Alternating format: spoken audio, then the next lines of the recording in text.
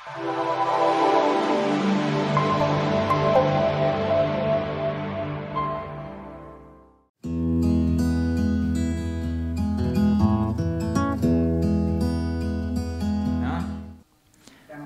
ော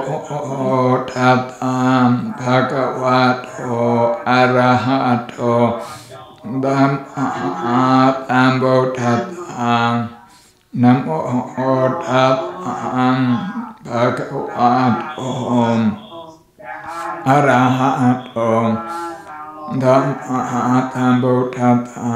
နမောတတံဘဂဝတော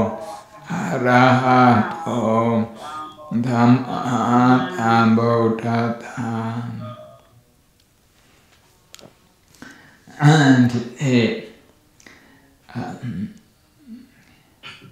ဒ္ဓတံအန်ဒီဝိနေပေါ့နော်ဝိနေမုတိတာတွေပေါ့ဝိနေမောဒနာမေတော့ရဲ့ရှိစနအာနတိဝိနေအလူနဲ့ရှမ်းပြည်နယ်ဗုဒ္ဓတိုင်းသူမှာအာစာချသံဃာတွေဝန်ဆောင်သံဃာတွေကျောင်းသားသံဃာတွေသီလရှင်ဆရာကြီးဆရာလေးတွေဆုံးခတ်တယ်နောက်ပြီးတော့ဝယ်ဝိစာတွေကိုလည်းပဲမနှက်စာနေလည်းစာ အမ်အကျွေးတယ်အာတိပြင်အခုလောဆယ်ဆောက်လုပ်နေတဲ့အကျောင်းသားတန်ခအဆောင်အတွက်လည်းပဲနဝကမ္မဆက်သိစကလူတန်းတယ်အစာကြည့်တဲ့ရေရှိတည်တန်းရေးအတွက်လည်းပဲမဟာသိစကလူတန်းတယ် စာကြည့်တဲ့နဲ့ပတ်သက်ပြီးတော့ဒီနှစ်တော့တို့အာမြန်မာနိုင်ငံမှာရှိတဲ့ဗုဒ္ဓတက္ကသိုလ်တွေအားလုံးဖွံ့ဖြိုးတိုးတက်ဖို့အတွက်ဆိုပြီးတော့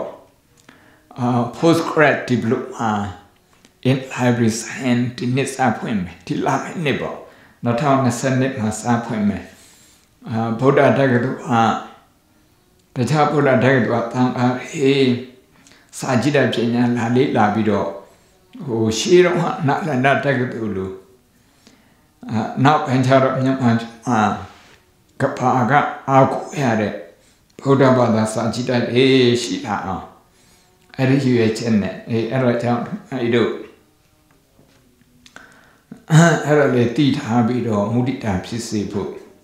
နောက်နေ့အာယုံစုနေစဉ်စက္ကလူထမ်းတယ်အဲနောက်ပြီးတော့နဝကမအတွက်လည်းပဲ အဲနှစ်သိန်းလူထမ်းတယ်အဲဒီနေ့ကအာကိုစုံမင်းတို့မကေတီတို့ရဲ့မွေးနေ့ကိုလည်းပြန်ပြောင်းပြီးတော့အလူဒါနအနေနဲ့တပါးတဲ့ဘုံတို့တရားအာဆင်ကျင်ကြမယ်တရားဟောကြမယ်အာကိုစုံမျိုးတို့လည်းပဲတန်က ကျောင်းဆောင်သုံးထက်ကျောင်းဆောင်ထက်မှာဆက်သိန်းနောက်နဲ့အောင်စုနေဆုံးကသုံးသိန်းနောက်ပြီးတော့နဝကမတသိန်းလေပေါ့နော်အခုဒီနေ့ဘုံဘုံနှလုံးသွင်းရတဲ့တရားကတော့ဝေးနေကိုဟိုတရားရှုထောင့်ကနေကြည့်ဖို့ပါပဲ တရားရှုထောင့်နေကြည့်ဖို့မွေးနေဆိုတာကတော့တော့ convention တခုပေါ့နှစ်သက်ရဲ့နှစ်ဟောင်းရဲ့ဆိုတာလည်းပဲ convention တခုပဲ convention ဆိုတာကအများကအမ်ဘယ်နှနိုင်ကိုတရက်လို့ခေါ်မယ်ဘယ်နှရက်ကိုတစ်ပတ်ဘယ်နှပတ်ကိုတစ်လဘယ်နှလကိုအာတစ်နှစ်လို့ခေါ်မယ်နှစ်ကိုကြတော့ဘယ်နေရာမှာစမယ်အဲ့ဒီလို ဝိုင်းဝန်းပြီးတော့သဘောတူထားတဲ့ဟာပေါ့စာစကားနဲ့ပြောရင်တော့သမုတ်ထားတယ်ပေါ့လူများစုသမုတ်ထားတဲ့ဟာဟိုအရက်စကားနဲ့ပြောရင်တော့လူတွေဝိုင်းပြီးတော့သဘောတူထားတဲ့ဟာပေါ့မြန်မာမြန်မာနှစ်ဆိုရင်တကြမစမယ်ဗုဒ္ဓဘာသာနှစ်ဆိုရင်မြတ်စွာဘုရားပြိဋိဘံစံတဲ့နေ့ ဘုရားဖြစ်တဲ့နေ့မွေးဖွားတဲ့နေ့ဖြစ်တဲ့တသမုန်လာဖြစ်နေ့မှာစမယ်အာအနောက်တိုင်းခရိယန်တွေဆိုရင်ကျန်ရလာဘုရားစမယ်အရှိအိုင် Orthodox Christian တွေဆိုရင်အဲ့ဒါနည်းနည်းလေးနောက်ကျပြီးတော့စမယ်အာတရုတ်လူမျိုးတွေဆိုရင်အဲ့နောက်ဟိုတပတ်တလတလခွဲလောက်နောက်ကျပြီးတော့နှစ်သိကူစမယ်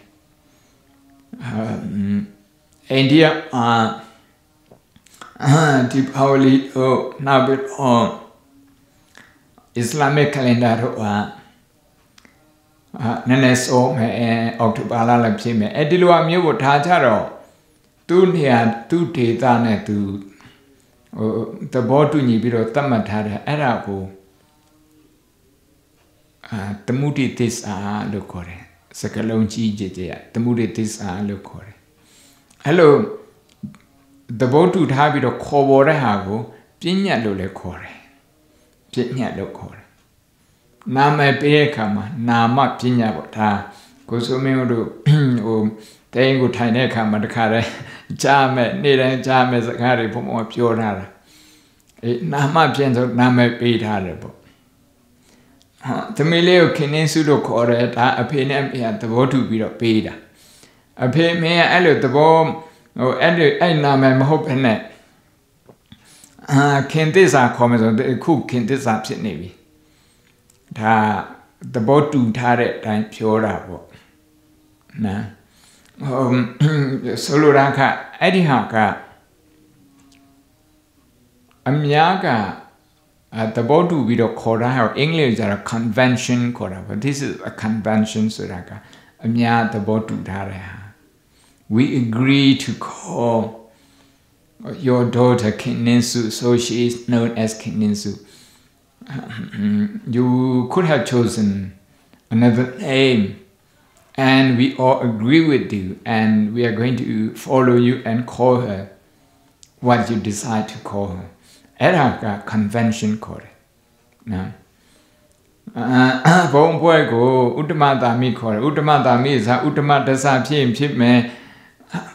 ဥပန္တိတာဖြစ်ဖြစ်မယ်အိုးဒါခေါ်ခြင်းရခေါ်တာပေါ့ဒါတွေအလုံးဟာပြဉ္ညတ်တွေလို့ခေါ်တယ်အာအဲ့ဒါကြောင့်မလို့ဒီနေ့အဲ့ခုနှစ်85နှစ်ပြည့်တယ်ဆိုတာဒါပြဉ္ညတ်သဘောအနေနဲ့ပေါ့ပြဉ္ညတ်သဘောအနေနဲ့ဆိုတာပေါ့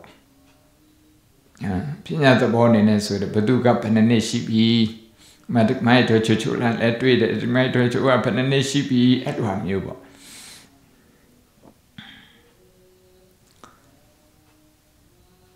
အဲ့ဒီဟိုမြန်မာပြည်မှာကြတော့ဒီဟာသိပြီးတော့မထင်ရှားဘူးတခြားနိုင်ငံမှာကြတော့ family name ရှိတယ်လေဟိုအိန္ဒိယမှာဆိုရင်ပို့ပြီးတော့ အဲ့ဒီ family name ကအာဘယ်လိုပြောမှာတော့သူတို့က status တခုအနေနဲ့ကြည်တာပေါ့ဘယ်လို family name ကြတော့အာဇာမြင့်တွေဘယ်လို family name ကြတော့စနေတွေအဲ့ဒီလိုပြောကြတယ်အဲ့လိုပြောရခါကျတော့အဲ့ဒီပြဉ္ညာနောက်ကိုဘာလိုက်လာတော့ emotion တွေ feeling တွေလိုက်လာတယ်သူကခွဲခြားဆက်ဆံကြတာဟို discriminate လုပ်ကြတာဟိုအဲ့မှာ feeling တွေလိုက်လာဘုံဘုံဆိုချင်တာကပြဉ္ညာနဲ့ယံဖြစ်တာကိုပြောချင်တာပြဉ္ညာနဲ့ယံဖြစ်တာကိုပြောချင်တာဟိုဘုံဘုံအဲလာပြီးတော့စကားများတဲ့လူက စကားများတဲ့လူကိုဘုံကပြညတ်သဘောနေနေချင်းအာသူကဘာအောင်အာသူကအမ်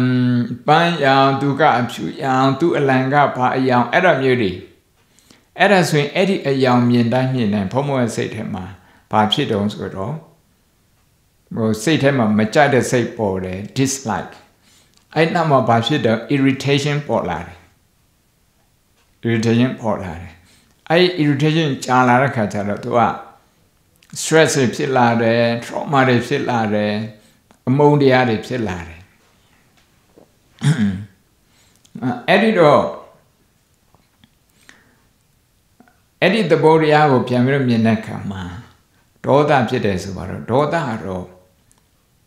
ဘယ်နှစ်မှာပဲဖြစ်ဖြစ်အသက်85မှာပဲဖြစ်ဖြစ်80မှာပဲဖြစ်95 90အ သက်20အသက်15ဘယ်ချိန်မှဖြစ်အဲ့ဒေါသကဒေါသဖြစ်တဲ့လူကိုပူလောင်စေတယ်ပူလောင်စေတဲ့သဘာဝရှိတယ်အဲ့ဒါကိုလက္ခဏာလို့ခေါ်တာပေါ့တိုင်းခုမှကျတော့ဒါလက္ခဏာအဆင့်ရောက်တဲ့ပုဂ္ဂိုလ်တွေလက္ခဏာစခန်းဝင်တဲ့ပုဂ္ဂိုလ်တွေအဲ့စိတ်တွေကိုရှုရတယ်စိတ်ရဲ့လက္ခဏာတွေ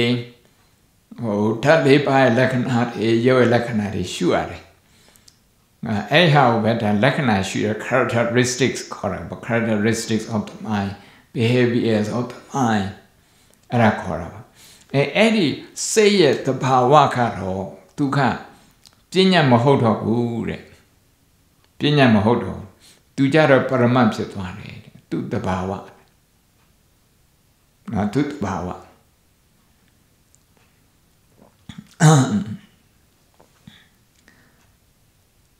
ဒီစိတ်ရဲ့ဖြစ်စဉ်ဒီဒေါသဖြစ်တယ်ဆိုရင်အမေရိကန်ဖြစ်တာလားစင်ကာပူရီယန်ဖြစ်တာလားအင်္ဂလိပ်ဖြစ်တရုတ်ဖြစ်တာလားအင်ဒိုနီးရှားဖြစ်တာလားမလေးလားတရုတ်လားဟုတ်ဘယ်သူပဲဖြစ်ဖြစ်မြန်မာပဲဖြစ်ဖြစ်မြန်မာဆိုလည်းဘာအယောင်ပဲဖြစ်ဖြစ်အဲ့ဒေါသဖြစ်တယ်ဆိုရင်အဲ့ဒီဒေါသရဲ့လက္ခဏာကတူတူပဲဒေါသလက္ခဏာကတူတူသူကကြမ်းတမ်းတဲ့သဘောရှိတယ်ဒေါသဘယ်တော့မှမသိမှုဘူး ဒေါသကြမ်းတမ်းတယ်နောက်ပြီးတော့စိတ်ထဲမှာသူကတေးထတတ်တယ်တဲ့ဒေါသမဖြစ်ပဲနဲ့တေးမထားဘူးမကြက်တဲ့စိတ်မဖြစ်ပဲနဲ့လူတယောက်ရဲ့အပြုမူလူတယောက်ရဲ့ချွင်းချက်ကိုကိုယ်စိတ်ထဲမှာတေးမထားဘူးသူ့ရဲ့အပြုမူကိုတေးမထားဘူးသူကငါ့ကိုဘလို့ပြောဘူးတယ်ဆိုပြီးတော့စိတ်ထဲမှာတေးမထားဘူးအဲစိတ်ထဲမှာဘာကြောင့်တေးထားတာတော့ဆိုတော့ဒေါသဖြစ်လို့ အဲ့ဒေါသရဲ့သဘောတရားကဒါပရမတ်လေပရမတ်ဆိုတာက तू อ่ะ it's not a convention no one okay no group of people comes and discuss and we are going to call we are going to we are going to um, create some characteristic of anger no we can't really say အဲ့လိုပြောလို့မရဘူးသူကနဲ့သူသူ့သဘာဝအရာဖြစ်လာတယ် အဲ့ဖြစ်လာတဲ့ဟာကိုသိအောင်လုပ်တာအဲ့ဒါကိုတရားထိုင်တယ်လို့ခေါ်တယ် anger management လည်းဒီတိုင်းပဲ mindfulness ဆိုတာဒီတိုင်းပဲ mindfulness based cognitive therapy MBCT ဆိုတာအဲ့ဒီတိုင်းပဲအဲ့အဲ့အဲ့ဒါကြောင့်ဗုဒ္ဓမြတ်စွာဘုရားကအဲ့ဒီဒေါသတွေဟာဘာနဲ့တူတုံးဆိုတော့ကိုယ့်ရဲ့နှလုံးသားထဲကိုဝင်လာတဲ့ ဒီ emotion ကဘာနဲ့တူတုံးဆိုတော့လူတယောက်ရဲ့စိတ်ကိုလှေတစည်းနဲ့လှေတစည်းနဲ့နိုင်ရှင်မယ်ဆိုရင်တဲ့ဒီစိတ်ထဲကိုခဏနာဝင်လာတဲ့ဒေါသကအဲ့ဒီလှေထဲကိုစီးဝင်လာတဲ့ရေနဲ့တူတယ်တဲ့လှေတစည်းဘလောက်ပဲငယ်ငယ်ဘလောက်ပဲသေးသေးနော်အဲ့ဒီချောင်းထဲမှာမြစ်ထဲမှာကန်ထဲမှာ ပင်လယ်ထဲမှာရှိတဲ့ရေတွေကဒီသင်္ဘောကိုမနစ်စေဘူးမနစ်စေနဲ့နစ်စေနိုင်တဲ့ chance ကတိတ်နေပါတယ်တဲ့ဒီသင်္ဘောကဘယ်ချိန်မှနှစ်သွားတော့ဆိုတော့အပြင်ကရေတပြေးပြေးဝင်လာပြီးတော့ရေကများသွားတယ်နောက်ဆုံးတော့အဲ့ဒီရေကအတွင်းမှာရှိတဲ့ရေကပဲသင်္ဘောကိုနှစ်စေတယ်သင်္ဘောနှစ်စေဆိုတော့ ဒီရေကိုကိုကဖယ်ထုတ်တာဟိုကုတ်ထုတ်တာပြန်ထုတ်တာမမီဘူးပေါ့တချို့ကျတော့လုံးဝမထုတ်ဘူးထုတ်ရမှလည်းမသိဘူးထုတ်ရမှလည်းမသိဘူးတချို့ဆိုရင်စိတ်ဆိုးတာဒီတိုင်းပဲနေနေတချို့ဆိုရင်ဟိုကြောက်တဲ့စိတ်ဖြစ်တယ်အကြောက်တရားဖြစ်တယ်ဒီတိုင်းပဲနေနေတယ်အဲ့ဒါဘာမှထမလုပ်ဘူးပေါ့ဘာထမလုပ်အခုကျတော့ကိုကတမျိုးမျိုးထားပြီးတော့လုပ်တယ် အဲ့ဒါတရားထိုင်တဲ့လူနဲ့တူတာပေါ့ကိုစိတ်ကိုကိုပြန်ပြီးတော့ training လုပ်တဲ့လူနဲ့တူတာပေါ့အဲ့ဒီလိုမဟုတ်ဘူးဆိုရင်စိတ်ထဲမှာနည်းနည်းစီနည်းနည်းစီဝင်လာတဲ့ဒေါသတွေကြောက်စိတ်တွေဟို restlessness ဒီလိုစိတ်ပြန်လွင့်တာတွေဟိုတန်တရားစိတ်တွေ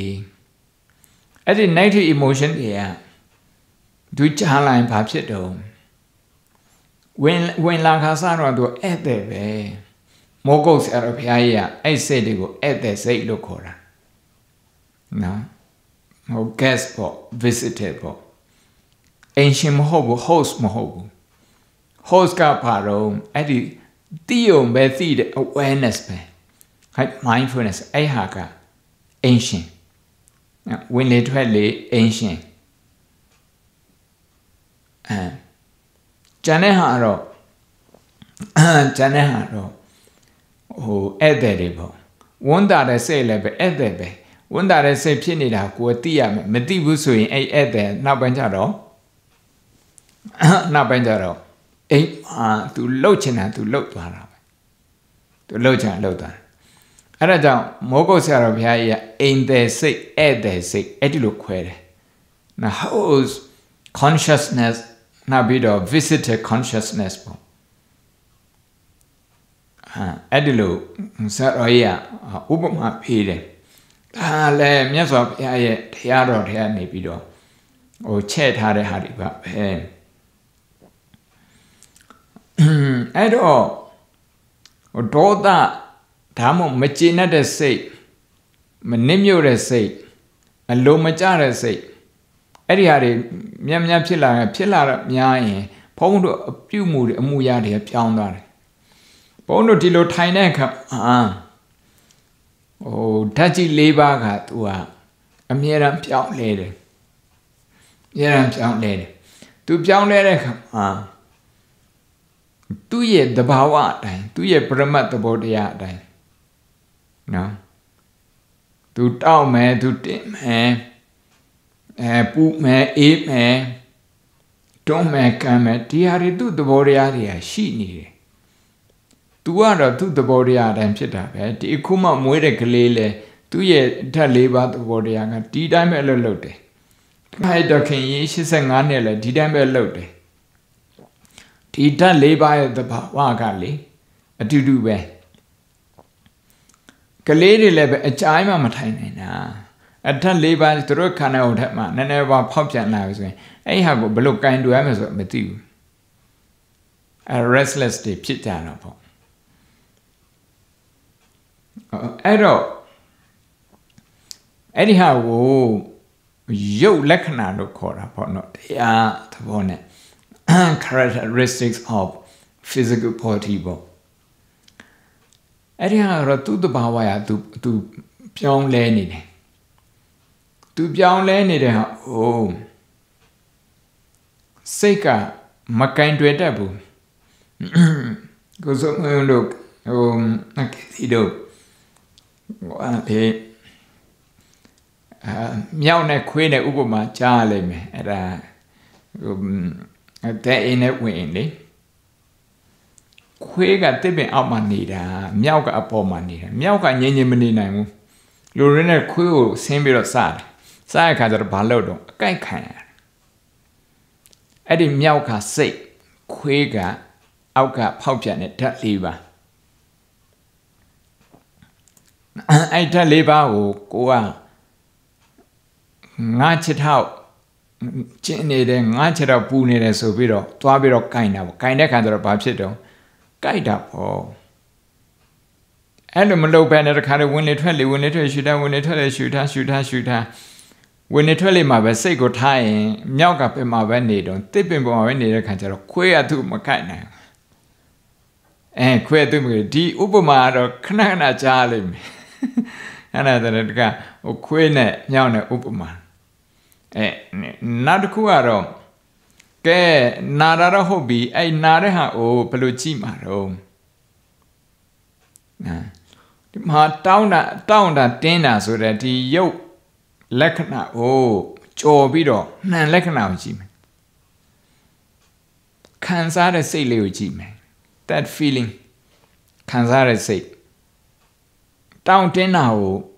မခံစားခြင်းတဲ့စိတ်လေးတောင်းတင်းတာကိုမကြိုက်တဲ့စိတ်လေးအဲ့စိတ်လေးကိုသွားကြည့်မယ်ဆိုတာကတောင်းတင်းနေတဲ့ဒီရုပ်လက္ခဏာကိုကြော်ပြီးတော့နှံလက္ခဏာကိုသွားကြည့်ဟာဘာနဲ့တူရောတော့ဟို အမ်အိမ်မှာဟိုကေဒီပဲဟင်းချက်ထပ်များတယ်ထင်တယ်အေးဟင်းချက်တယ်ဆိုရင်ဟင်းကဟင်းမြည်ချင်တဲ့ခါမှာဟင်းအရန်ပူနေတယ်အရန်ပူနေတဲ့ခါမှာဟင်းကိုမြည်မယ်ဆိုရင်အဲ့ဒီအပူကိုကြော်ပြီးတော့ပါမြည်ရမှာတော့ဆိုတော့စားအရသာမြည်ရမှာအပေါ်ငံအရသာမြည်ရအဲ့ဒီစားကိုကြော်ပြီးတော့အဲ့ဒါ နည်းနည်းလေးမှုတ်ပြီးတော့အဲ့အရသာရအောင်အဲ့ဟင်းရုံမြည်တာကိုကအေးအပူကိုမြည်ချင်တာမဟုတ်ပါဘူးပါမြည်ချင်တာတော့ဆိုတော့စားအပေါ်ငံမြည်ချင်တယ်ရတာမြည်ချင်တယ်ရတာတဲ့လားဆိုအဲ့ဒါမြည်ချင်တာအဲ့ဒါကြောင့်ဝေနာကြည့်တဲ့ခါမှလည်းပဲတကယ်လို့ဒီဝေနာချမ်းပေါ့နော်ဝေနာချမ်းကြော်သွားပြီဆိုရင်နောက်တစ်ဆင့်ကအဲ့ဒီ စိတ်ဝေနာကြည့်ရအဲစိတ်ဝေနာကြည့်ရမယ်စိတ်ဝေနာကြည့်တဲ့ခါမှာတော့အဲ့လိုပဲပူတဲ့ဟာကိုကြော်ပြီးတော့အဲ့ဒီအရာတာကိုရအောင်ဟင်းရည်တဲ့ဥပမာပေါ့ဒါတွေကတော့ဟိုတဲ့ယောဂီဆိုရင်တော့ကြားဘူးနေကြတယ်ဖြစ်ပါလိမ့်မယ်အခုဘုံပြောချင်တာကအဲ့ဒီခံစားတဲ့သဘော ပထမဆုံးတော့နာရကျင်တာမကြက်တဲ့သဘောနောက်ပိုင်းကျတော့အဲ့ဒီအကိုကြော်ပြီးတော့အဲ့နာရကျင်တာသိမထင်ရှားတော့ဆိုရင်စိတ်ကဟိုဒုက္ခဝေနာခေါ်တာပေါ့ငြိမ်သက်တဲ့ဟာအဲ့ဟာကိုကြိုက်တဲ့သဘောအဲ့သဘောတွေအားလုံးဟာဒါဝေဒနာရဲ့လက္ခဏာတွေပဲဝေဒနာရဲ့လက္ခဏာတွေဒါတွေကလည်းပရမတ်တွေပရမတ်တွေအဲ့ကြောင့်ဒီမိုက်တော့ခင်ဤကိုယ့်ကို အိမ်မှာနေပြီးတော့ကလထိုင်ပေါ်မှာထိုင်နေတဲ့ချိန်အဲ့ရတဲ့မှာလဲနေတဲ့ချိန်လမ်းလျှောက်တဲ့ချိန်အဲ့အချိန်မှာခန္ဓာကိုယ်ဝေဒနာတစ်ခုပေါ်လာလဲဆိုရင်နော်တောင့်တာတင်းတာလားညောင်းတာလားအဲ့ဒါလေးကိုဟိုကြည့်ပေးလိုက်နော်ကြည့်တဲ့အခါမှာဟိုတဲ့အင်းကကြည့်တဲ့ပညာတစ်ခုကတော့ဘောင်ချိန်ပြီးတော့ကြည့်တယ်ဆိုတော့ဝင်လေထွက်လေနဲ့သူ့ကိုချိန်ပြီးတော့ကြည့်တာ ဝင်လေထွက်လေစီမှာလည်းပဲလုံးလုံးလျားလျားမနေဘူးအဲ့ဒီညောင်းတာညာအဲ့မှာလည်းလုံးလျားမနေဘူးအလဲကောင်လောက်မှနေတယ်အဲ့ဒါကတော့သူတို့ရဲ့ပညာပဲဘောင်ချိန်နေဆိုတော့ဘယ်လောက်ထိချိန်နှုံးဆိုအိုးအစင်းမြင့်တဲ့အခါမှာလည်းအိုးဓမ္မရီနဲ့ပညာ concentration နဲ့ wisdom အဲ့နှစ်ခုချတော့သွားပြီးတော့ချိန်သေးတယ်အဲ့ဒါတော့တဲ့အင်းမှလုပ်တယ်ဟိုတဲ့အင်းမှဟိုလေ့ကျင့်တဲ့ဟို အကျင့်ဒီဒီကျင့်စဉ်တစ်ခုပေါ့နော်အကျင့်တစ်ခုအခုဘုံမကပြောချင်တာတော့ဆိုတော့ဝေဒနာဖြစ်လာပြီဆိုရင်ခန္ဓာကိုယ်ကသူအမြဲတမ်းပြောင်းလဲနေတဲ့ခါကျတော့ဖောက်ပြန်တဲ့ခါကျတော့သူကနေပြီးတော့ဖြစ်ပေါ်လာတဲ့ဝေဒနာအဲ့ဒီအာကိုကဖောက်ပြန်တဲ့ရုပ်နဲ့ခံစားတဲ့စိတ်အဲ့နှစ်ခုကိုခွဲပြီးတော့ကြည်နိုင်နေဆိုရင် အတရားရသွားပြီတဲ့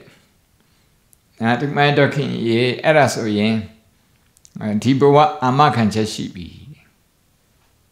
အာမခံချက်ရှိပြီအရိယာမဖြစ်သေးတာတော့မှနော်အရိယာမဖြစ်သေးတာတော့မှဒီအောက်လမ်းကိုမသွားတော့ဘူးပေါ့အဲအဲ့ဒါကြောင့်ဝေနာပေါ်လာတဲ့ခါမှာစိတ်ကသွားပြီးတော့ခံစားတယ်အရင်တော့ဆိုရင်ဘုံဘုံက ကြီးပေါင်းစပြီးတော့ဖြစ်ချင်တဲ့ပုံစံမျိုးဖြစ်နေလားမသိဘူးဆိုပြီးတော့အဲ့ရင်လေခေါင်းကနှလုံးအောင်ရမလားနှလုံးဆိုရင်လည်းနည်းနည်းမြင့်တယ်တစ်လုံးဆိုရင်လည်းနှိပ်နေတယ်အဲ့အောက်မှာခေါင်းအောင်တစ်လုံးရဲ့အောက်မှာသင်္ကန်းတစ်ထည်ထည့်ရမလားနှစ်ထည်ထည့်ရမလားအဲ့ဒါကိုပြင်းနေတာပြင်းတဲ့ခါမှာတပည့်တွေလာပြီးတော့ဝဲစားလို့အဲ့ဟာပြတ်သွားပြန်ရောအဲဟိုအမ်အဲလေပဲပြန်ပြီးတော့နာပြန်ရောအဲ့ဟာအဲ အမ်အဲ့ဒီဝေနာကိုခံစားရတဲ့ဒီဒီအလုံးမကြတဲ့စိတ်ကအဲ့အိပ်ပြီဆိုရင်ဖြစ်နေတာပေါ့အဲ့တော့အဲ့ရေးကိုလည်းထိတယ်အဲ့ရေးလည်းထိတယ်ဟိုတိန်ထိုင်တဲ့ခါကျတော့ဟိုတင်းတဲ့ဒီလေဘင်းကတင်းတဲ့သဘောတရားတွေနော်အဲ့ဟာလေးကိုလည်းကြည့်တယ် အသွားပြီးတော့ခံစားတဲ့စိတ်လေးကိုကြည့်လိုက်အော်စိတ်ကသွားလုံနေတာစိတ်ကသွားခံစားနေတာ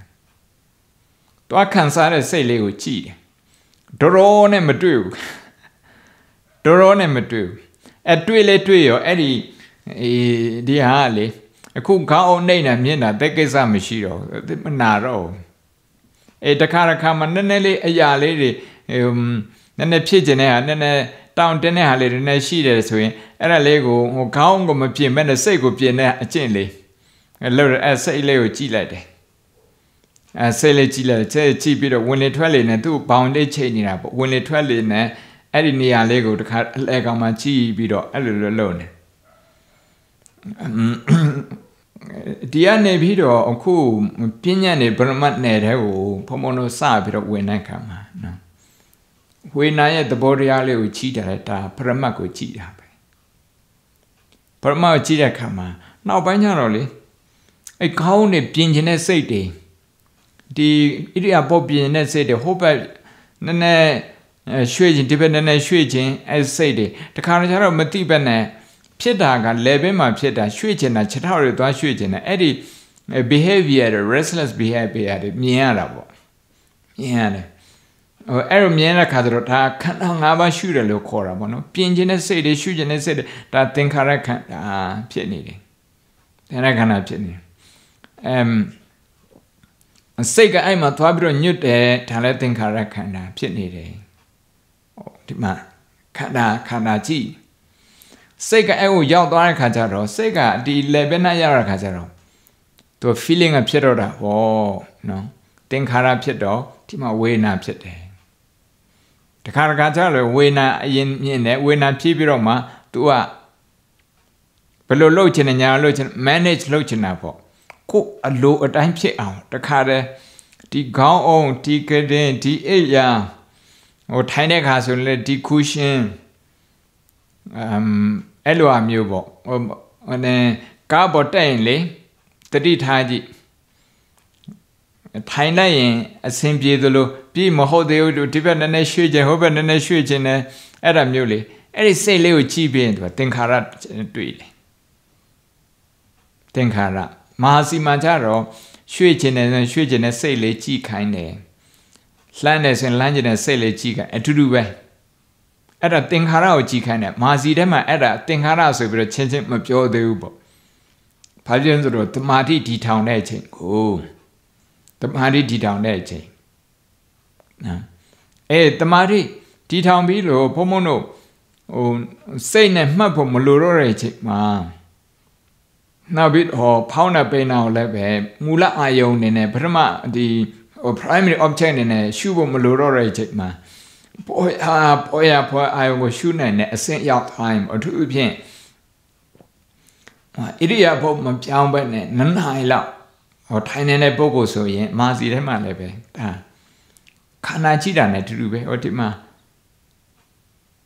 အာလှုပ်ရှားခြင်းတဲ့စိတ်ဝေနာပေါ်လာတယ်ဝေနာလေးကိုကြည့်တယ်လှုပ်ရှားခြင်းတဲ့စိတ်ကိုကြည့်တယ်ဝေနာကိုကြည့်တာကဝေရณะခန္ဓာလှုပ်ရှားခြင်းတဲ့စိတ်ပြောင်းခြင်းတဲ့စိတ်အဲ့ဒါကြည့်တာကသင်္ခါရခန္ဓာအဲသင်္ခါရခန္ဓာအဲ့လိုအရ ဝေနာတွေကြည့်ခန္ဓာတွေကြည့်တာပဲခန္ဓာကြည့်နေရမှာလဲသူကခန္ဓာ၅ပါးစလုံးတောင်းစီအောင်ကြည့်ဖို့မလိုပါဘူးတခုတည်းကိုကျန်နာနာကြည့်နေတဲ့အခါမှာသဘောပေါက်သွားငါးခုစလုံးသူဆက်ဆက်သွားတာသဘောပေါက်သွားတာပဲ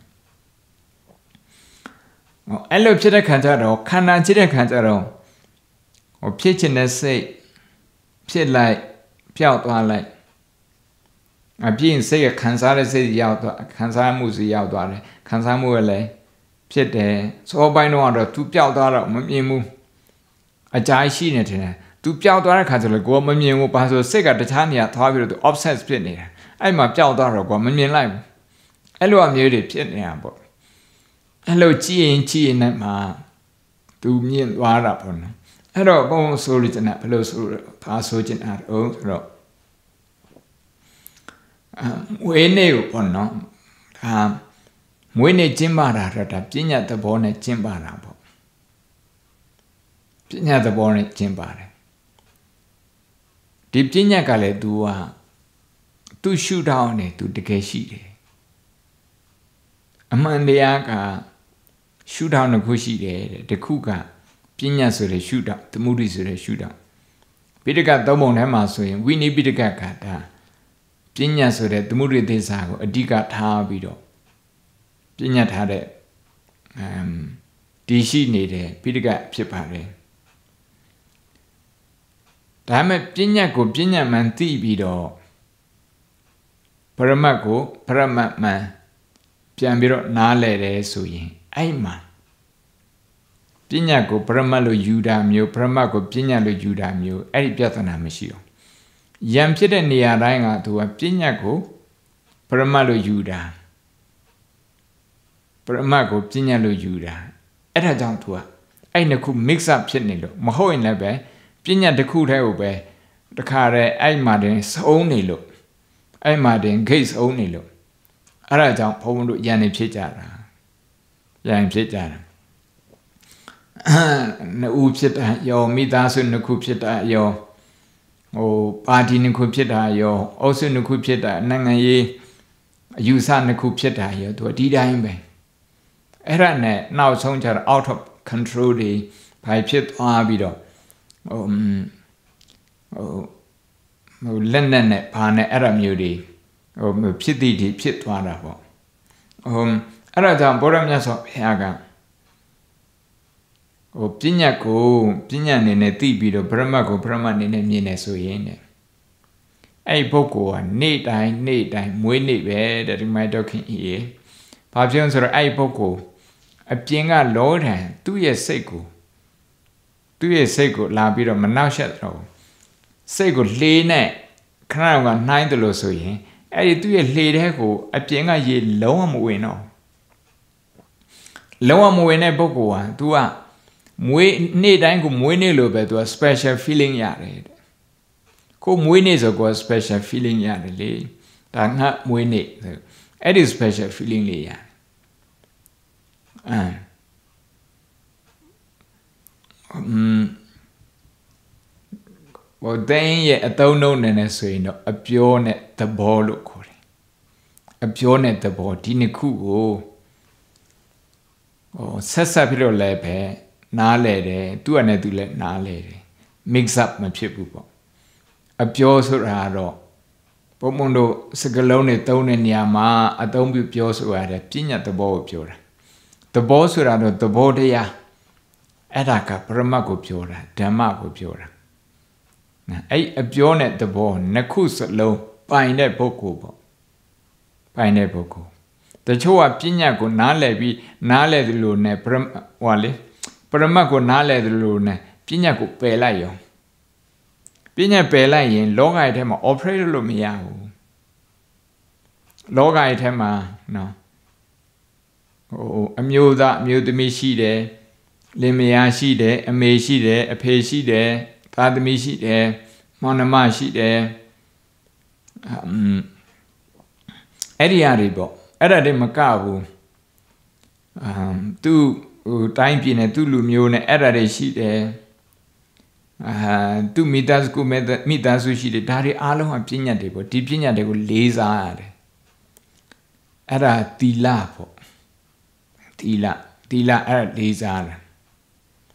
အမေသီလမှာမရက်ဘဲနဲ့ဘာကြောင့်သီလလောက်တာမုန်နဲ့စောင့်စီရတာတော့ဘာလို့စောင့်စီရတာတော့ဆိုတော့ ကိုနှုတ်စိတ်ဒီသုံးခုကိုဒီသုံးခုကိုဘုံဘုံတို့ manage လုပ်ဖို့အတွက်เนาะကင်တွယ်ဖို့အတွက်ကဲဟုတ်ပြီဒါမဲ့သီလကတိုက်ရိုက်အားဖြင့်အပြောနဲ့အလုပ်နဲ့ဒီနှစ်ခုပေါ့ဝစီကံနဲ့ကာယကံဒီနှစ်ခုကိုဒီ speech နဲ့ physical action ဒီနှစ်ခုကို तू က manage လုပ်တယ်စိတ်ကိုရော စိတ်ကိုလည်း तू manage လုပ်ပါတယ်ဒါပေမဲ့ directly မဟုတ်ဘူးသူ့ကို direct တိုက်ရိုက် manage လုပ်တဲ့ဟာတော့ဘုံမတို့ဒီတရားထိုင်တဲ့ဟာပေါ့တရားထိုင်တဲ့အဲအကြောင်းဘာနာတိပါဒဝေရမဏီဆိုရင်ဒါသူတို့ဘာပေါ့အာအကျမ်းမဖက်နဲ့သူ့အသက်ကို လေးစားပါဆိုတာပယ်ချိန်ကြမှာသူ့ရဲ့အသက်ကိုတကယ်လေးစားတော့ဆို အဲ့ဒေါသရဲ့သဘောတရားကိုသိပြီးတော့အဲ့ဒေါသမှာဒေါသနေရာမှာကရုဏာနဲ့အစားထိုးတာအဲ့ကြောင့်တရားထိုင်တယ်တရားထိုင်ဆိုတာကစိတ်ကိုပြောင်းလဲတာဘာနဲ့ပြောင်းဘာနဲ့ဘာဘယ်လိုပြောင်းလဲမှာဆိုတော့ဒေါသအုပ်ဆိုးခံရတဲ့စိတ်ကိုကရုဏာအုပ်ဆိုးတဲ့စိတ်ဖြစ်အောင်အဲ့လိုလုပ်တယ်အဲကရုဏာနဲ့ပတ်သက်ပြီးတော့နေ့စာပိုက်လေးတစ်ခုဖတ်ပြခြင်းတယ် ဒီအားက um professor Cameron ဆို Michigan University ကနေပြီးတော့သူသူရနာလောက်ထားတဲ့ organization of compassion manifestation through organization နဲ့ professor Kim Cameron သူ business school မှာရော management လည်းသင်တယ်နောက်ပြီး education မှာလည်းသင်တယ်ဒီ theory တွေကိုသူက school of education နဲ့ school of management နှစ်ခုစလုံးမှာသူသုံးယူတယ် organizational compassion နဲ့သူရဲ့ဟောကိုပြောထားတာသူရဲ့ခေါင်းစည်းကိုပြောထားတာ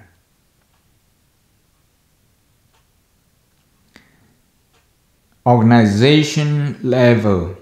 compassion as a dynamic and relational process တဲ့ relational process dynamic ဖြစ်တဲ့ relational ဆိုတာက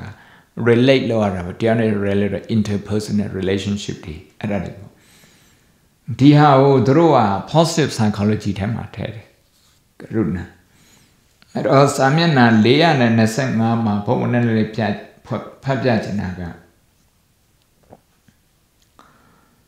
the effects of compassion on organizational performance. um, most research on compassion has been conducted at the individual or dyadic level of analysis. Studies have focused primarily on the emotions, reactions, and relationships that occur in individuals or in relationship between two people one who is suffering and one who is experiencing or acting with compassion အများစုကအဲ့အဲ့လိုလုပ်တယ်ဒါကတော့သူ့ရဲ့ introduction ပေါ့သူ့ရဲ့ um however this research has shown that people who feel compassion this compassion research. Uh, uh, this research on compassion has shown that people who feel compassion demonstrate higher levels of helping behavior and moral reasoning, connectedness, and stronger interpersonal relationship, as well as less depression, reduced moodiness, and less mental illness. Quoted Dr. Castle 2002သူကနေပြီးတော့ cited လုပ်တဲ့ research လေးတခုပါ အာပါပြောတာတော့ဆိုတော့ organization ထဲမှာ compassion ရှိတယ်ဆို organization ဆိုတာကအာ family ကလည်းပဲ unit တခုပဲလေ organization a small organization တခု university ဆိုရင်ဒါလည်းပဲ organization တခုပဲအဲ့လိုနေရာမျိုးမှာ compassion ရှိတဲ့ပုဂ္ဂိုလ်ဟာတဲ့ compassion feeling ရှိအောင် ကျင့်ထားတဲ့ပုဂ္ဂိုလ်ဟာဘာတွေရှိတုံးဆိုတော့ higher levels of helping behavior သူတို့ဘာကိုကူညီခြင်းနဲ့စိတ်ပိုများတယ် moral reasoning အကောင်းအဆိုးဓမ္မအဓမ္မအမှားအမှန်စင်ကြင်နိုင်တယ်တဲ့စင်ကြင်နိုင်တယ်နော်အမှားမှန်စင်ကြင်တဲ့နေရာမှာ သူ့အမှားမှန်ယူဆအယူဆနဲ့ကိုယ်အမှားမှန်ယူဆမှုတွေမတူဘူးဆိုရင်လည်းပဲအဲ့လိုပုံကိုယ်တွေဟာသူတို့နဲ့သဘောချင်းမတူတဲ့လူတွေနဲ့ထိုင်ပြီးတော့ဆွေးနွေးဖို့အတွက်ဝမလေးဘူးတဲ့ဆွေးနွေးတာအောင်မြင်တယ်ဘာလို့ဆိုတော့သူက interpersonal relation ကောင်းတယ်နောက်တစ်ခုကောင်းတော့ connectedness you feel connected with everyone even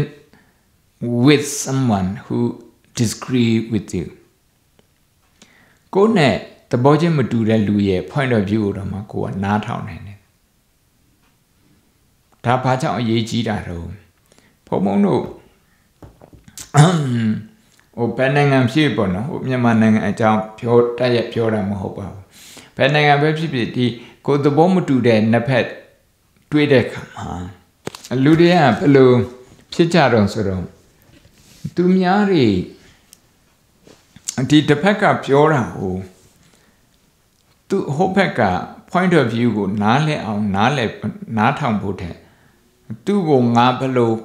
ပြန်ပြီးတော့ပတ်ရမယ်ဘယ်လိုပြောရမယ်ဘယ်လိုခြေဖားမယ်ဆိုပြီးတော့အဲ့ဒီအတွေးနဲ့သူကနားထောင်တာဒီထက်က non-violent communication နော် Professor Marshall Rosenberg သူရဲ့စကားနဲ့ပြောရင်တော့ compassion မရှိရလို့ mindfulness မရှိလို့ you don't listen to understand you only listen to respond when you listen to respond you don't get the point of view of the other party အဲ့ဒီလိုနဲ့တွေးဆုံဆွေးနွေးမှုတွေဟာ fruitful မဖြစ်ဘူး fruitful မဖြစ်ဘူးဘုမောအချင်းချင်းပြောတယ်မြန်မာကြီးမှာ ပြစ္ဆုတ်ပန်ဆိုရဘယ်ဘယ်ပြစ္ဆုတ်ပန်ဆိုရပဲဖြစ်ဖြစ်အဲ့ပြစ္ဆုတ်ပန်ဆိုရကသူ့သူ့ထက်ရှေးကြတဲ့ဆိုရတွေအရင်ဆိုရအတိတ်ဆိုရတွေဟိုမုဒိတာပြောတဲ့ဟာနှစ်ပေါင်း၄နှစ်ပေါင်း80ကျော်အတွင်းမှာတခါမှမရှိဘူးတခါမှမရှိဘူးတဲ့ခါကျတော့ appreciation ဆိုတာလေမုဒိတာဆိုတာဘုံဘုံတို့ကကိုယ်နဲ့မပတ်သက်ဘူးလို့ပဲထင်နေတာအဲ့လိုပေါ့ ဟိုအဲ့ဒါကြောင့်မလို့ဘုံတို့ကရုဏာရှိတဲ့ပုဂ္ဂိုလ်ဟာ connected ပို့ပြီးတော့ဖြစ်တယ် only if you feel connected you will listen to that person's point of view အဲ့လူပြောခြင်းတဲ့ဟာကိုကသူဘာပြောခြင်းလဲဆိုတာကိုကိုနားထောင်တယ်ဟိုတချို့နေရာမှာကျတော့ဒီဟာကို mindful listening တို့အဲ့ဒီလိုခေါ်တယ်နော် we don't listen because we want to negate what he's saying we listen because we want to understand him why he's behaving like this အဲ့ဒီဟာတိတ်လို့တယ်အဲ့ဒီဟာမရှိတော့ဘူးဆိုရင်ဘုံဘုံတော့ communication မရှိတော့ဘူး communication မရှိတော့အဲ့ဒါကြောင့်မလို့ဘုံတို့ ငြိမ်းချမ်းရေးတည်ဆောက်တယ်ဆိုတာကိုယ့်ရဲ့စိတ်ထဲမှာကရုဏာရှိအောင်နောက်ကိုလုံးဝသဘောမတူတဲ့လူနော် तू ပြောတဲ့ဟာကိုသူ့ရဲ့ရှုထောင့်နေပြီးတော့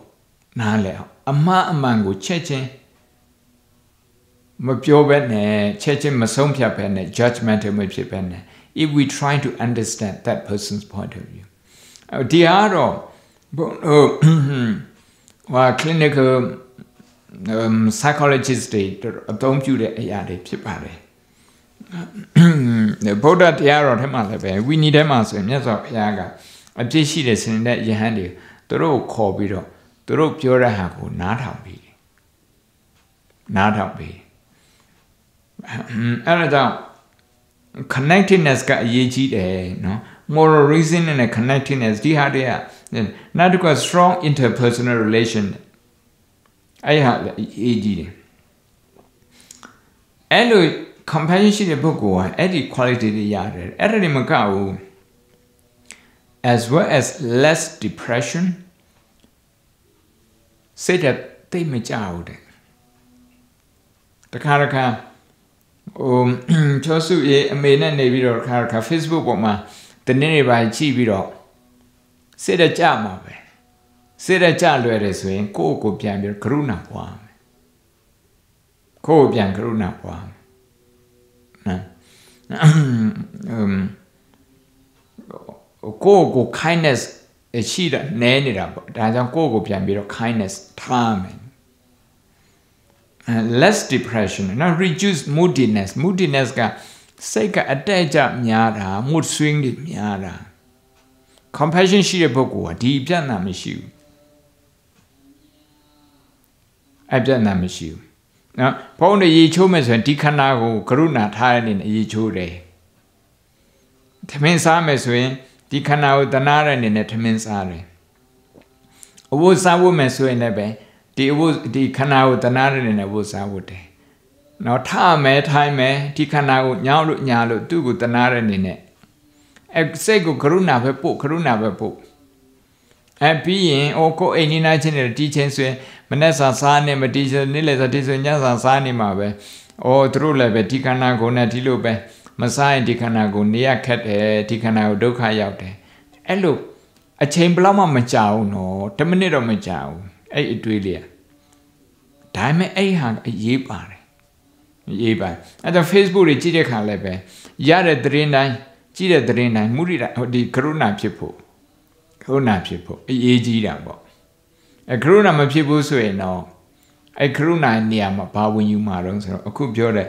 depression တို့ moodiness တို့နောက် mental illness ဆိုတာကအလိုလိုနေနဲ့အလွယ်တကူစိတ်တူတတ်တာတွေအလိုမကြတဲ့စိတ်တွေခဏခဏဖြစ်တာတွေဒါတွေက mental illness တွေဒီကနေစတာပေါ့ဒီကနေစတာ compassion ရှိတယ်ဆိုတော့ဒါတွေကမဖြစ်ဘူးလေအဲ့ဒါတွေမကဘူး recipients of care support or assistance that is motivated by compassion tend to recover physically from injury or illness uh, and emotionally from grief more quickly and thoroughly and show enhanced commitment self-esteem self-efficacy pro-social identity a sense of dignity than others ကရုဏာရှိတဲ့ပုဂ္ဂိုလ်ဟာဒီလိုဖြစ်တယ်နော်အေးတော်တော်တသက်နဲ့ကိုယ်ခန္ဓာကိုကရုဏာပွားဖို့လိုအပ်တယ်ဘုံနဲ့အဲ့လိုပဲပွားတယ်ဟိုမပွားနိုင်တဲ့ချိန်နဲ့ရှိတယ်မပွားနိုင်တဲ့ချိန်ဆိုအလုပ်တွေလည်းများပြီး stress များတဲ့ချိန်ဆိုအိုးဘာမှမဟုတ်တာလေးနဲ့အလိုမကျတဲ့စိတ်တွေဖြစ်တယ်အဲအဲ့ချိန်မျိုးမှာဆိုရင်ကိုယ့်ကိုပြန်ပြီးတော့ကရုဏာပွား break လေးအုပ်ဒီလိုလုပ်တယ် အဲ့တော့ဟို Harvard ကအမ်အမျိုးဒီဆီယမိုက်တရား professor of psychology ဒုဒုရနာလို့တဲ့ထဲမှာပချီဆွဲတာနဲ့ဟင်းချက်တာတယောက်ကတော့ဟင်းတစ်ခွက်ဟင်းတမဲကိုကြတော့ mindfulness ဆိုသတိပဋ္ဌာန်ကျင့်ပြီးတော့ဒီကရုဏာလောက်ဖူးတဲ့ပုဂ္ဂိုလ်သူပြောတာတော့ mindfulness ပဲရှိတယ်ကရုဏာမပါဘူးနောက်တစ်ယောက်ကတော့ compassion လောက်မရှိဘူးဟိုဒီလို mood swing တွေရှိတယ်ပေါ့အဲ့နှစ်ယောက်ချက်တဲ့ဟင်းကိုအဲ့ခံပွဲတစ်ခုမှာသူကသူ့ဒေနအနေနဲ့ထားကြည့်တယ်ဘယ်ဟင်းကိုဘယ်သူပိုစားမှာလူတွေကပိုကြိုက်မှာဆိုတော့85ခိုင်နှုန်းနဲ့15ခိုင်နှုန်းกว่าတယ် တတိတရားနဲ့နော် mindful mindful ဆိုတာကဒီဟာကိုချက်တာဒီချက်စရာတွေကိုစိုက်ပျိုးတဲ့လူတွေကိုတတိရတယ်နော်တဲပုတ်ပေးတဲ့လူတွေကိုတတိရတယ်ဒီခန္ဓာကိုလိုအပ်ချက်ကိုလည်းတတိရတယ် mindfulness ခေါ်တာပေါ့အဲ့ဒီပုံစံမျိုးနဲ့ချက်တဲ့လူတွေဟင်လူ100မှာ85ယောက်ကဒီလိုခုခတ်စားသွားတယ် ဘသူမှအဲ့လူနှစ်ယောက်ကိုမသိဘူးအဲ့ဟင်းနှစ်ခွဲ background လည်းမသိဘူးဒါလေးပြောချင်တယ်အမ်ဆိုလိုတာပါဆိုလိုတာတော့ဆိုတော့ဟိုစိတ်နဲ့ယုံနဲ့ तू က connected ဖြစ်နေတဲ့ခါမှာအာတတိရှိတဲ့ပုဂ္ဂိုလ် compassion ဆိုကရုဏာရှိတဲ့ပုဂ္ဂိုလ် ဒီခန္ဓာကိုပို့ပြီးတော့နေကောင်းတယ်ကျမ်းမာတယ်လို့ပြောချင်တယ်နေမကောင်းမှုဆိုရင်လည်းပဲဒီတတိတရားနဲ့ကရုဏာတရားပွားတယ်ဆိုရင်ပွားတယ်ဆိုရင်ဒါဟိုစိတ်ကူးတဲ့နေရာမှာပို့ပြီးတော့မြန့်တယ်ပေါ့ recover ပြန်မြန့်တယ်ဒါသူတို့ပြောတဲ့ဟာပါ to recover physically from injury or illness and emotionally from grief more quickly and thoroughly and show enhanced commitment and self-esteem အဲ့ဒါမျိုးတွေအဲ့တော့နိကုံးတတ်မယ်ဆိုရင်အဆုံးတတ်မယ်ဆိုရင်ဒီနေ့တရားပဲဘုမဘာပြောချင်တာတော့ဆိုအပြောနဲ့သဘောနှစ်ခုစလုံးသူ့နေရာနဲ့သူနားလည်ပြီးတော့ပညာနဲ့ပရမတ်နှစ်ခုနားလည်ပြီးတော့ကိုယ့်ရဲ့စိတ်ကိုတတိတရားကရုဏာတရားရှိအောင် နေတဲ့ပုဂ္ဂိုလ်အဲ့ဒါမကဘူးမုဒိတာဆိုတာကဩငါဒီမိုက်တော်ခင်ကြီးနေနဲ့ငါ85နှစ်နေရတယ်ကျမ်းကျမ်းမာမာနဲ့အခုတည်းထိနေရတယ်ကုသိုလ်တွေလုပ်နိုင်စွမ်းရှိသေးတယ်အဲတရားပွားများနိုင်စွမ်းရှိသေးတယ်ကုသိုလ်လည်းအများလုပ်ခဲ့ပြီးအဲ့ဒါတွေပြန်ကြည့်ပြီးတော့မုဒိတာလည်းပွားမယ်ဆိုရင်နေ့တိုင်းကမွေးနေပါပဲ နေ့တိုင်းမွေးနေပါပဲအဲ့လိုမဟုတ်ဘဲနဲ့200 300နဲ့64ရက်စောင့်ပြီးမှဒီမွေးနေ့တရက်ကို special မွေးနေ့တရက်မှာမှာ special feeling ရတယ်ဆိုရင်တော့အကြိုင်းစောင့်ရတာပေါ့အကြိုင်းစောင့်ရတယ်364ရက် invest လုပ်ပြီးမှတရက်ပဲ return ရတယ်ဆိုရင်တော့ turn ဒီဟာကအအရင်နေ့တိတ်များလွန်းတယ်ပေါ့ အေးအဲ့ဒါကြောင့်နေ့တိုင်းနေ့တိုင်းကိုယ့်ရဲ့မွေးနေ့ပုံစံမျိုး special feeling ရအောင်ဆိုရင်ကိုယ့်ရဲ့စိတ်ကိုကိုစောင့်ရှောက်ရတယ်တတိတရားနဲ့စောင့်ရှောက်တယ်ပညာနဲ့ပရမတ်ကိုခွဲခြားပြီးတော့သူ့ဉာဏ်နဲ့သူမြင်တတ်တဲ့အသိဉာဏ်ပညာတရား wisdom အစင်မပြေတဲ့အခါမှာဘဝရဲ့စိတ်ပြတ်မှုတွေကိုကရုဏာနဲ့ ကြည်တနားလက်တာဖြည့်သိမ့်တတ်တဲ့အရာအစင်ပြေတဲ့အရာတွေကောင်းတဲ့အရာတွေအဲ့ဒါကြတော့မုရိဒာနဲ့ကြည်တတ်တယ်အဲ့လိုကြည်တယ်ဆိုရင်တော့ကိုယ့်ရဲ့စိတ်ကအမနမလုံခြုံတဲ့လေကြီးတစည်းနဲ့တူပြီတဲ့ပင်လယ်ထဲအရေသူ့ထဲကိုရောက်မလာဘူးသူရောက်မလာဘူးဆိုရင်အဲ့ပင်လယ်ထဲအရေဘလောက်ပဲများများအပြင်လောတန်ကဘလောက်ပဲများများဒီလှေကိုနစ်အောင်မလုံနိုင်ဘူး ဒီလှေကအဲ့ဒီပင်လယ်ထဲအရေကိုသူ့ထဲဝင်ခွင့်စီးခွင့်စီးဝင်ခွင့်ပေးတယ်ဆိုရင်တော့အပြင်ကလောတန်ကိုယ့်ရဲ့စိတ်ကိုလာပြီးတော့ရိုက်ခတ်ခွင့်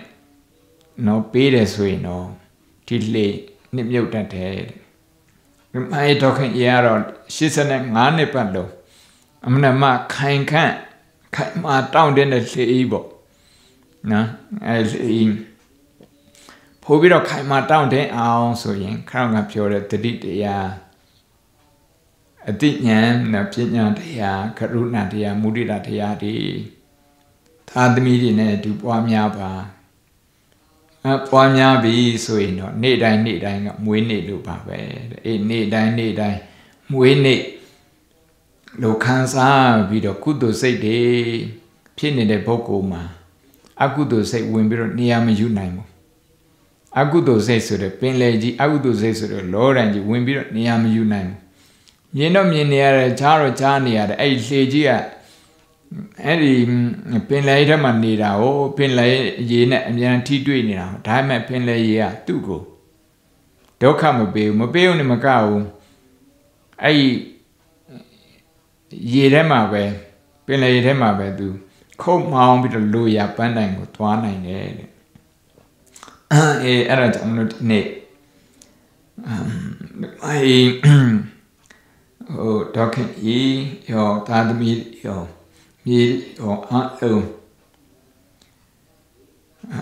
ဒီနေ့ပြုလုပ်တဲ့ကုသိုလ်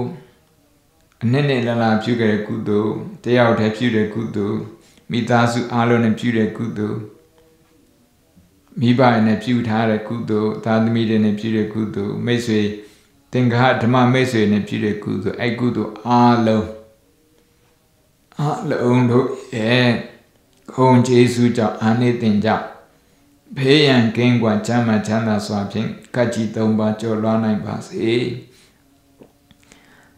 ကိုတွင်ကိုပါအိမ်တွင်အိမ်ပါပြည်တွင်ပြည်ပါတိထက်စထက်ဘိုးအန်တိုးရတိုးရသာသနာပြုနိုင်ပါစေ မိမိကောင်းကျိုးအများကောင်းကျိုးလောကကောင်းကျိုးသာသနာတော်ကောင်းကျိုးတိုးရတိုးရတည်ဖို့ဆောင်ရနိုင်ကြတဲ့ပါရမီရှင်များဖြစ်ကြပါစေ